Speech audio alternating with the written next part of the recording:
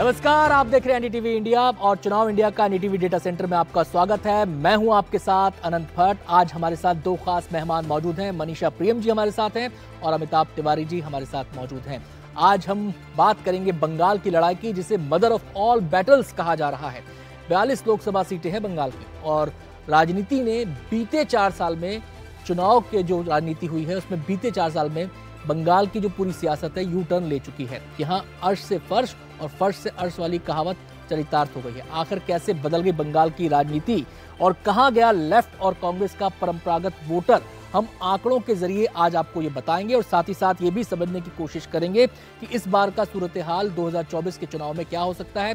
कौन सी पार्टी कहाँ खड़ी है, किसको कितना नफा, कितना नुकसान हो सकता है? तो शुरुआत करते हैं आंकड़ों के ज़रिए इस पूरे गुणा गणित को समझने की। सबसे पहले बात बात करते हैं कैसे चार चुनाव में बंगाल की सियासत बदली। टीएमसी के आंकड़े आपको दिखाते हैं। ये देखिए 2004 में टीएमसी को केवल एक सीट थी नई नई पार्टी थी नया नया जन्म हुआ था, लेकिन चुनाव दर चुनाव पार्टी बढ़ती गई और 2019 में पार्टी को 22 सीटें मिली। सबसे अच्छा परफॉर्मेंस टीएमसी का रहा 2014 में 34 सीटों के साथ। अब जरा बात कर लेते हैं बीजेपी की। बीजेपी ने भी शानदार प्रदर्शन किया है चुनाव दर चुनाव। बीजेपी 2004 की अगर हम बात करें तो शून्य सीट थी। वोट परसेंटेज कुछ था पार्टी के पास, लेकिन सीट जो थी वो शून्य थी। 2009 की हम बात करें तो एक सीट बीजेपी को मिली। 2014 में दो सीट और 2019 तक आते आते बीजेपी ने अपना बेस्ट परफॉर्मेंस दिया पिछले चार चुनाव का, उनमें थी 18 सीटें। अब जरा कांग्रेस पर नज़र डाल लेते हैं कि कांग्रेस का क्या सूरत हाल रहा। कांग्रेस 2004 में छह सीटें लेकर आई। 2009 में भी कांग्रेस को छह सीटें मिली 2014 में चार सीटें मिली और 2019 में पार्टी दो सीटों पर सिमट गई। अब जरा सीपीएम की बात कर लेते हैं, जो कभी बंगाल पर राज किया करती थी, एक छत्र चौंतीस साल राज किया, लेकिन 2004 में अगर हम देखते हैं तो 26 सीटों पर सबसे बड़ी पार्टी थी। 2009 में आंकड़ा घट गया 9 सीटों पर आ गए। 2014 में दो सीटों पर और 2019 में खाता भी नहीं खोल पाई पार्टी। तो ये तो बात हुई आ, आ, बात हुई पूरे पार्टी की सीटों की जो चुनाव दर चुनाव किसी की घटी किसी की बढ़ी अब जरा वोट परसेंटेज पर नज़र डाल लेते हैं। ये ग्राफ के ज़रिए हम आपको समझाएँगे। और वोट परसेंटेज के हिसाब से देखें तो टीएमसी को 2004 में अच्छा खासा वोट प्रतिशत मिला था। 21 फ़ीसदी वोट आप इन ग्राफ में देख सकते हैं ग्रीन लाइन के ज़रिए। इक्कीस फ़ीसदी वोट 2004 में मिला, जो बढ़कर 43 फ़ीसदी हो गया 2019 में। यानी कि सीधे सीधे 22 फ़ीसदी का फ़ायदा टीएमसी को हुआ। बीजेपी की बात करते हैं 2004 में 8 फ़ीसदी वोट मिला और 2019 में 40 फ़ीसदी, बत्तीस फ़ीसदी का फ़ायदा बीजेपी को यहाँ पर वोट परसेंटेज में हुआ। कांग्रेस की बात करें तो कांग्रेस को 2004 में 15 फ़ीसदी वोट मिला था और 2019 तक आते आते घटकर सिमट कर 6 फ़ीसदी रह गया। सीपीएम की अगर हम बात करते हैं तो 2004 में उनतालीस फ़ीसदी वोट सीपीएम को मिला था। ऊंचाई पर पार्टी थी और फिर देखिए कैसे एकदम ढलान पर पार्टी आ गई और 2019 तक आते आते सीपीएम का वोट शेयर घटकर छह फ़ीसदी पर रह गया। तो इन आंकड़ों के ज़रिए आपने समझा कैसे जो पार्टियाँ थी अलग अलग किसका ग्राफ चढ़ता चला गया, किसका ग्राफ उतरता चला गया। तो अब हम ये आपको समझाते हैं कि कैसे जो परंपरागत वोटर थे सीपीएम के जो परंपरागत वोटर थे, कांग्रेस के जो परंपरागत वोटर थे, वो कहाँ गए, किसके खाते में चले गए? अब इसको जरा समझिए, जो लेफ़्ट के परंपरागत वोटर थे, उसमें बीजेपी सबसे ज़्यादा मुनाफे में रही, उनतालीस फ़ीसदी लेफ़्ट का वोटर बीजेपी में शामिल हुआ। और अगर हम बात करें टीएमसी की तो इकतीस फ़ीसदी वोट टीएमसी के खाते में गए, लेफ़्ट तीस फ़ीसदी अपने बरकरार रखने में कामयाब रही, कांग्रेस के खाते में कोई वोट ट्रांसफ़र नहीं हुआ। तो लेफ़्ट के परंपरागत वोटरों का आपने ये आंकड़ा देखा। अब कांग्रेस के परंपरागत वोटरों की क्या स्थिति रही है, आप समझ लीजिए। जो 32 फ़ीसदी वोटर बीजेपी के पास चले गए, टीएमसी के पास 20 फ़ीसदी, लेफ़्ट के पास 4 फ़ीसदी ट्रांसफ़र हो गए और कांग्रेस ने जो अपना इंटैक्ट रखा, जो बचा हुआ था, वो कांग्रेस के पास रह गया। तो ये पूरी तस्वीर आपने समझी कि कैसे लेफ़्ट की जो बंगाल की सियासत थी, वो बदली चुनाव दर चुनाव और कैसे जो परंपरागत वोटर थे वो अलग अलग पार्टियों में शामिल होते चले गए। हमारे साथ दोनों खास मेहमान हैं, उनसे अब चर्चा की हम शुरुआत करते हैं, समझने की कोशिश करते हैं कि आंकड़े क्या इशारा करते हैं, क्या बताते हैं, कैसे इन आंकड़ों को डिकोड किया जाए। सबसे पहले अमिताभ जी, मैं आपका रुख करना चाहूँगा। ये जो शिफ्ट हुआ पूरा तीन डिग्री सियासत घूम गई बंगाल की। इसके पीछे सबसे बड़ी वजह आप क्या मानते हैं? उसमें ध्रुवीकरण कितना इंपॉर्टेंट फैक्टर है? देखिए एसेंशियली बंगाल में जो लड़ाई रही है ट्रेडिशनली कांग्रेस और सीपीएम की रही है। पहला चीफ मिनिस्टर वहाँ पर बंगला कांग्रेस का 1900 1967 में इंस्टॉल हुआ था, जो first assault of Congress party माना जाता है। फिर 1977 के बाद चौंतीस साल तक सीपीएम का वहाँ पर राज रहा। अब कांग्रेस पार्टी, जो टीएमसी है, आज वो एक्चुअल रियल कांग्रेस पार्टी हो गई है। और सीपीएम का वोट जो लार्जली हम देख रहे हैं, वो बीजेपी की तरफ़ ट्रांसफ़र हो गया है। अब इसमें ध्रुवीकरण का पिछले चुनाव, पिछले दो चुनावों में काफ़ी असर रहा है, क्योंकि बंगाल में जातिगत राजनीति ज़्यादा नहीं होती वहाँ सोशो इकोनॉमिक क्लास बेस्ड राजनीति होती है गरीब और अमीर की लड़ाई होती है। अब 2014-19 में क्योंकि वहाँ पर मुस्लिम पॉपुलेशन 30 परसेंट है जो कि भारत के मुस्लिम पॉपुलेशन के डबल है तो हिंदू वर्सेस मुस्लिम एक पोलराइजेशन ज़रूर हमें 14 और खास करके 19 में हमको देखने को मिला जो कि उस समय लगभग 60 परसेंट से ऊपर मुस्लिम मतदाता जो है उसने टीएमसी को वोट किया और बीजेपी जो है वो काफ़ी हद तक हिंदू मतदाता को अपने पक्ष में लाने में आ, का, कामयाब रही। और हमने ये भी देखा है कि जो सीपीएम और कांग्रेस के पास जो माइनॉरिटी वोटर था वो भी धीरे धीरे ट्रांसफ़र हो गया है टीएमसी की टीएमसी। तो इस चुनाव में देखना पड़ेगा कि सीएए के इम्पैक्ट के बाद कितना और पोलराइजेशन जो है वो इम्पोर्टेंट हो जाता है। अब मनीषा जी आपसे समझना चाहेंगे जब बात होती है ध्रुवीकरण की तो उस ब्रैकेट में कौन कौन से मुद्दे समा जाते हैं? जैसे संदेश खाली का मुद्दा इस बार काफ़ी हाईलाइट हुआ है, काफ़ी सियासत में खींचतान इस मुद्दे को लेकर हुई है और इसके साथ एक और अहम बात जुड़ जाती है, इस मुद्दे के साथ महिलाओं का फैक्टर भी सामने जुड़ जाता है। इसको आप कितना इंपॉर्टेंट इस चुनाव में मान रही हैं? देखिए, इस चुनाव में, इसके पहले के चुनाव में महिलाओं का मुद्दा जो है बहुत महत्वपूर्ण रहा है और ध्रुवीकरण, महिला सब एक सांस में लेने के पहले आप ये समझने की चेष्टा कीजिए कि यद्यपि जाति की राजनीति वहाँ नहीं रही है लेकिन इसके बावजूद भी पिछले चुनाव से भाजपा ने कुछ ऐसी प्र, प्रमुख सामाजिक वर्ग वर्गों का या कैटेगरीज का उल्लेख किया है। जैसे मटुआ माँ के मंदिर में प्रधानमंत्री स्वयं गए और उन्होंने इस कम्युनिटी को अपनी तरफ़ खींचने की चेष्टा की। उसके अलावा कोच राजवंशी जो है उनकी उनके तरफ़ टी गार्डन वर्कर्स की बात जो ये सब की गई। इसके अलावा जंगल महल का एक इलाका था। इसमें पिछले चुनाव से ही आ, मुझे याद है अमित शाह जी ने कहा था जंगल महल देखिएगा। तो ये ट्राइबल्स का एरिया है। तो कहीं ना कहीं आ, क्लास के साथ कुछ सामाजिक वर्गों की भी बात थी। उन अवधारणाओं में भी आ, एक जहाँ पैठ थी टीएमसी की वहाँ जहाँ जहाँ टीएमसी थी वहाँ वहाँ बीजेपी ने अपने पैठ बनाने की चेष्टा की और उसके ऊपर से एक टॉपअप के रूप में ध्रुवीकरण का कार्ड हुआ। अब यह अहम मुद्दा यह आ जाता है कि ध्रुवीकरण की राजनीति जहाँ प्रखर हो ममता बनर्जी को चैलेंज कहाँ से है? बीजेपी से जो ध्रुवीकरण की राजनीति कर सकते हैं। वहाँ कहीं भी लेफ़्ट जो है टर्मिनल डिक्लाइन इस तरह का झटका मिलता है। ज्योतिदा जो है उनकी मृत्यु हो जाती है 2010 तक। तो बंगाली आइडेंटिटी बंगाली अस्मिता के सारी जो भावनाएँ हैं वो ममता बनर्जी के पास आ जाती हैं। प्रणव दा हों या ज्योति बाबू हों इन सब की देखभाल वो करती हैं। लेकिन सीपीएम अपने जो रिजर्वेशन है वो कभी भी हटाता नहीं है ममता बनर्जी के प्रति। तो जो वोट सीपीएम के कहा जा रहे थे वो तो जा रहे थे बीजेपी के पास। लेकिन अपनी जो उनकी चिड़ थी ममता बनर्जी से उसको छोड़ने के लिए वो तैयार नहीं थे।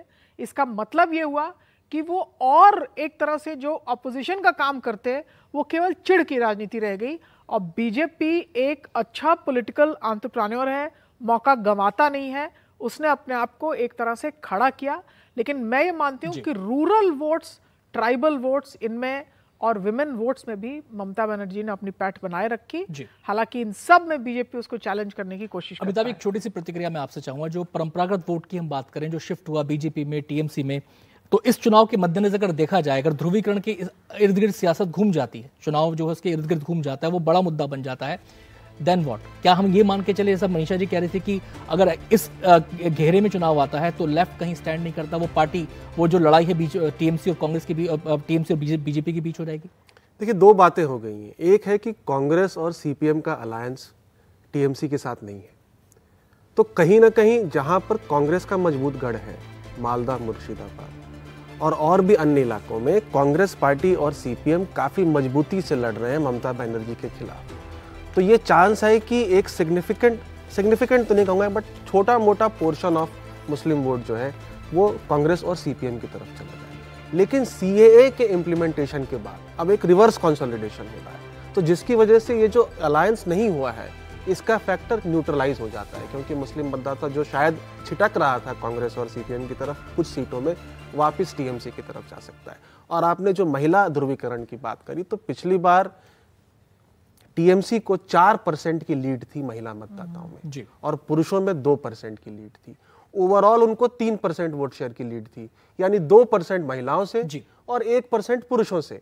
अब इस बार अगर महिला मतदाता संदेश खाली की वजह से बीजेपी की तरफ़ शिफ्ट होता है तो कोर वोट है वो टीएमसी का, का। उसको बहुत बड़ा झटका लग सकता है। बहुत इंपॉर्टेंट बात आपने यहाँ पे बोली। हमारी ये चर्चा जारी है। आंकड़ों के ज़रिए कुछ और तस्वीर भी आपके सामने रखेंगे लेकिन एक छोटा सा ब्रेक हमें यहाँ पे लेना होगा। हम जल्द लौटते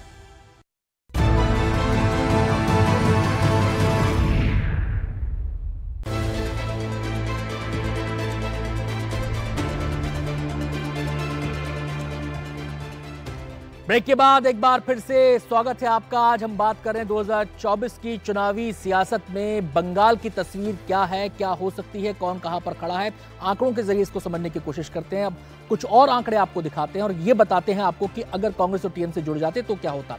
कांग्रेस टीएम से जुड़ते तो क्या होता? चौबीस सीट दोनों की आती। 2019 में 22 आई थी और दो कांग्रेस की आई थी, मिला के चौबीस। और 2024 का अनुमान क्या है? 30 सीट का अनुमान है। ये 2024 का अगर दोनों जुड़ जाते, लेकिन ऐसा हो नहीं सका। ये तो बात आपने देखी इनके जुड़ने की। अब हम बात कर लेते हैं बीजेपी की। 2019 में बीजेपी की स्थिति क्या होती? 2019 में बीजेपी ने 18 सीटें जीती थी, वो आपके सामने है। अब 2024 में क्या हो सकता है? 2024 में अगर जुड़ जाते तो ये सीट का आंकड़ा बैठता 12 यानी कि सीधा सीधा बीजेपी को नुकसान यहाँ पर हो सकता था छह सीट का, लेकिन कांग्रेस और टीएमसी सात चुनाव नहीं लड़ रहे हैं, ये इंपॉर्टेंट फैक्टर यहाँ पर हो जाता है।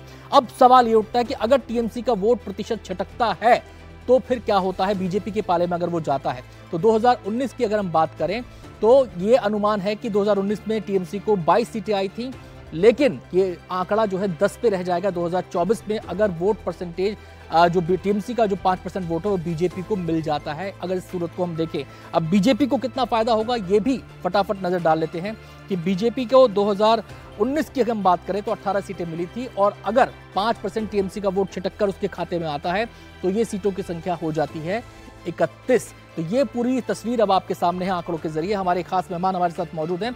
उन्हीं से हम चर्चा के ज़रिए समझने की कोशिश करेंगे कि आखिर ये आंकड़े क्या तस्वीर प्रस्तुत करते हैं। वोट डिवीज़न की बात मनीषा जी हो रही है। लेकिन ये वोट डिवीज़न किसका, किसको और कितना फ़ायदा पहुँचा सकता है? देखिए, सबसे बड़ी बात है कि जहाँ तक जो पहले के खिलाड़ी थे, कांग्रेस और सीपीएम, ये अब और एडिशनल दे नहीं सकते कुछ भी। इनके वोट सब टर्मिनल डिक्लाइन में हैं। तो सीधा सीधा आप जिसको कहते हैं ना, छीना झपटी की लड़ाई है। अगर टीएमसी के मत ले जाती है भाजपा, इसलिए संदेश खाली का भी जो मामला है वो दुखद है लेकिन महिला वोटरों में एक बेस है ममता बनर्जी का भी और उनकी अपनी लोक कल्याणकारी योजनाएँ रही हैं वो खुद भी एक महिला हैं। तो उन पर प्रहार जो कड़ा देखते हैं कि महिला वोटर्स जो हैं वो pan caste category pan region उनको ऑल ओवर बंगाल छिटक सकता है। तो वो पूरे बंगाल में एक कोशिश कर रहे हैं एक तरह से तो। और दूसरी बात है कि पोलराइजेशन पर वो कोशिश करेंगे। उससे एक हिंदू मेजोरिटी शायद कंसोलिडेट हो। तो ये बातें जो है, वो भाजपा को सीधा नफ़ा जो है दे सकती हैं। लेकिन ममता बनर्जी का जहाँ तक सवाल है, उनकी अपनी लोक कल्याणकारी योजनाएँ और जंगल महल का इलाका, ट्राइबल इलाका, इन सब में उनकी पकड़ जो बरकरार रही है और कहीं ना कहीं वो ज़मीन पे एक जुझारू नेता के रूप में देखी जाती है। दूसरी बात आप देखिए कि ममता बनर्जी ने कितना भी दबाव रहा है, जहाँ तक इंडिया अलायंस का सवाल है, उन्होंने स्पष्ट कर दिया है कि ना सीपीएम, ना कांग्रेस, कोई उनका साथी नहीं है। तो इंडिया में भी आप देखते हैं कि उनकी तूती जो है वो बिल्कुल खरी खरी बोल के रही है। जी। और उनके कौन चाहते हैं उनमें? जिन लोगों का बंगाल से कोई लाव लपेट नहीं है उनके चाहते अखिलेश हैं उनके चाहते आम आदमी पार्टी हैं जो कि युवा नेता हैं और बंगाल से इनका कोई लेना देना नहीं है। तो कहीं ना कहीं ममता बनर्जी भी एक कड़ी राजनीति खेल रही हैं। भाजपा बनाम क्षेत्रीय दल जो होगा 2024 में उसकी सबसे बड़ी लड़ाई बंगाल में लड़ी जाएगी। अमिताभ जी आपसे समझना चाहेंगे इंडिया ब्लॉक का साथ ना आना ये किस रूप में इंपैक्ट करेगा इस बार के चुनाव को? पहला सवाल। दूसरा सवाल बार बार संदेश खाली का ज़िक्र आ रहा है। जब टीएमसी के वोटर छिटकने की बात आ रही है इसमें महिला इंपॉर्टेंट भूमिका निभा सकती है। तो संदेश खाली का जो मुद्दा है वो एक रीजन तक सीमित है या फिर उसकी पैन बंगाल इंपैक्ट उसका आप देखते हैं? ये देखिए एक तो जो क्या है कि ये नेशनल चुनाव है तो इसमें दो तरह के ही वोट हैं। या तो प्रो बीजेपी है या तो एंटी बीजेपी है। इसमें कोई pro TMC anti TMC vote का लेना देना नहीं है। तो अगर अलायंस नहीं हुआ है, कांग्रेस और टीएमसी का तो ऑफ़ कोर्स बीजेपी का जो एंटी वोट है, वो स्प्लिट हो रहा है। मैं तो इसको इस तरह से देखता हूँ। और जो भी कांग्रेस के पास वोट है, किसी भी अलायंस में सीमलेस ट्रांसफ़र हमने देखा है कि होता नहीं है। सबसे बड़ा इशू वही होता है। लेकिन कांग्रेस के पास जो वहाँ पर 6 परसेंट के करीब वोट है, उसमें से 5 परसेंट तो मुस्लिम सपोर्ट है। तो वो तो ईजिली ट्रांसफ़र होता। यानी वो अलायंस जो है वो एक मज़बूत अलायंस होता क्योंकि उसमें वोट ट्रांसफ़र होता था। और आपके आंकड़े वो फैसिनेटिंग डेटा बता रहा है कि छह सीटों पर भाजपा को मुश्किल हो जाती क्योंकि उन छह सीटों पर भाजपा पाँच परसेंट से कम मार्जिन पर जीती थी। अब जब ये अलग अलग लड़ रहे हैं संदेश खाली का मामला हो सी हो एंटी इनकम्बेंसी ममता के खिलाफ भी क्योंकि वो दस साल से आ, आ, लड़ रही हैं वहाँ पर चुनाव। कांग्रेस और सीपीएम भी ज़ोर लगा ही रही है ठीक है? तो अगर इसकी वजह से आपने दिखाया कि पाँच परसेंट वोट भी स्विंग होता है उसमें महिला वोट भी है जी। और उसमें हिंदू मेजोरिटी वोट भी है भद्रलोक वोट भी है जिसको भद्रलोक कहते हैं पर कास्ट वहाँ पर। तो कैसे गेम चेंज होता है? उन 12 सीटों पर भाजपा सेकंड थी पिछली बार जो आप सीटें दिखा रहे हैं जो बढ़ती हुई। तो ऑफ़ कोर्स उन सीटों पे कंटेंशन है और महिला का जो सेंटिमेंट है ये सेंटिमेंट का मामला है। आज की डेट में सोशल मीडिया की वजह से कोई भी चीज़ एक लोकल या सेंट्रिक नहीं होती। सीमित नहीं है। सीमित नहीं होती। वो 24 घंटे में पूरे राज्य क्या पूरे देश में उसकी बात गूंजने लगती है। बहुत बहुत शुक्रिया अमिताभ जी समय की कमी है। मनीषा जी बहुत बहुत शुक्रिया आपका। इन आंकड़ों के ज़रिए पूरा विश्लेषण करने की और बंगाल की एक तस्वीर दिखाने की आपने यहाँ पर कोशिश की है। उम्मीद करते हैं कि इन आंकड़ों के ज़रिए कार्यक्रम के ज़रिए आपको एक छोटा सा एक व्यू पॉइंट ज़रूर मिला होगा कि बंगाल में इस बार क्या हो सकता है और क्या बंगाल में होता रहा है। आज कार्यक्रम में इतना ही। कल फिर आपसे मुलाकात होगी। नए मुद्दे के साथ, नए आंकड़ों के साथ हमें फ़िलहाल दीजिए इजाज़त।